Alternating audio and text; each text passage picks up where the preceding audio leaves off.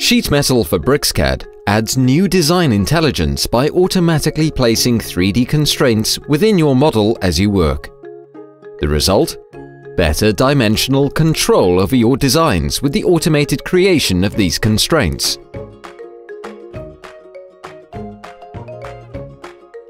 This part is created in SolidWorks.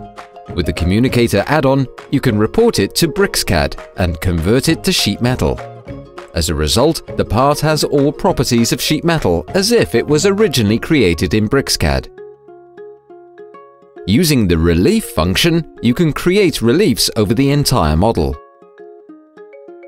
By applying the Parametrize command on the entire model, several dimensional and coincidence constraints are created automatically in the mechanical browser.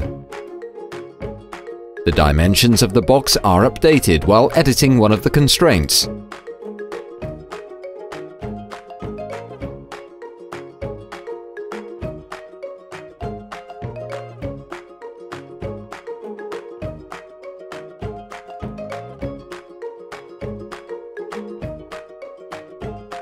Let's have a look at the unfolded sheet metal part.